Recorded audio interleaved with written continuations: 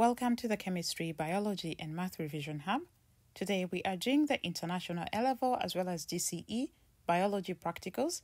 This is called Practical 11, studying the ecology of a habitat using quadrats as well as transects. So let's begin. So the first part is carrying out a study of the ecology of a habitat such as using quadrats and transects to determine the distribution and abundance of organisms, measuring abiotic factors appropriate to the habitat. In this investigation, you'll be required to measure specific abiotic factors so that you can see how those factors affect the abundance and distribution of specific organisms within an area.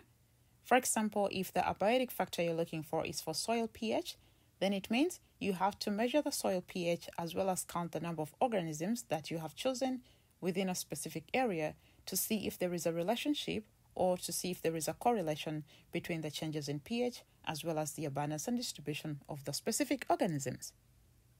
When you use quadrats, you have to throw them randomly or you could use a random number generator.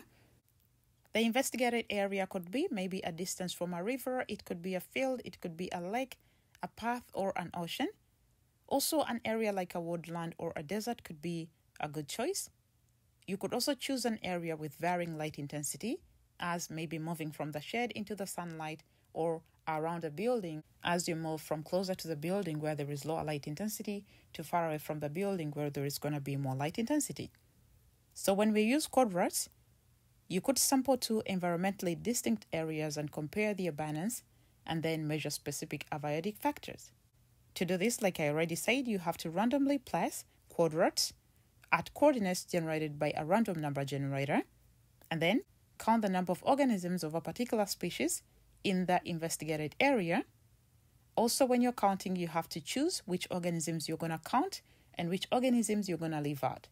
For example, in the image we see here, some organisms may be touching the quadrant, but they're halfway in. You have to make a decision before the experiment whether those are going to be counted as being in or as being out. Then you will record your results in a suitable table, and then you will repeat that same experiment with 10 more throws, at least 10 more throws of the quadrant randomly, and then calculate the mean number and tabulate the mean as well. And then you will find out an estimation of the number of organisms within a specific area by using the mean you have calculated. So, in the next part, we carry out a study of the ecology of a habitat. In this case, we are using transects to determine the abundance and distribution of organisms by measuring suitable abiotic factors as well. In my description here, we are using light intensity, but you could also use maybe pH level, salinity, and so on, or water content of the soil. You have to carefully choose an area with a corresponding specific abiotic factor. It could be temperature, it could be pH, rainfall, sunlight, salinity, oxygen availability, and so on. You have to choose a plant species and decide whether you are using percentage cover or you're going to use the plant density as the measure of abundance. If it's plant density, then of course you have to count the specific organisms within specific quadrants placed along specific transects. If you choose counting as your method, you have to find organisms that are easy to distinguish. So it should be easy to distinguish the target, but not too abundant to make it hard for you to count. You need to write down the decisions made and define the null hypothesis for the relationship that is being studied. Then you need to position a belt transect around the investigated area. Then you will begin from one end of the transect. Ideally, it could be from the shaded area and position quadrants next to the zero mark.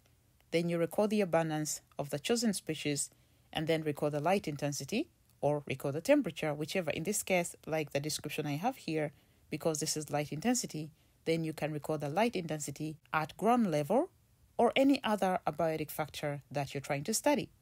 Then you will move the quadrant to the 2 meter mark and record the abundance. Remember, you began at the 0 mark, then 2 meter mark, then 4 meter mark, and so on.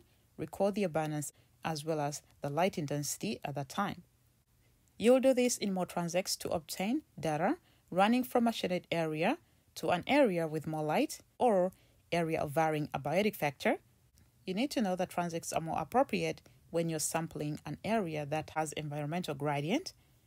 Sampling is also done systematically in a linear pattern, meaning you begin from here, you go to the next, you go to the next, and so on. Do not skip.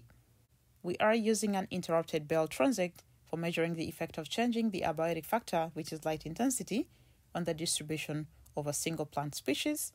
In the end, you have to measure light intensity using a light meter. If it's temperature, of course, you have to say thermometer. If uh, you're measuring pH, you have to use a pH meter. If you're measuring oxygen concentration, then you have to use a digital oxygen probe.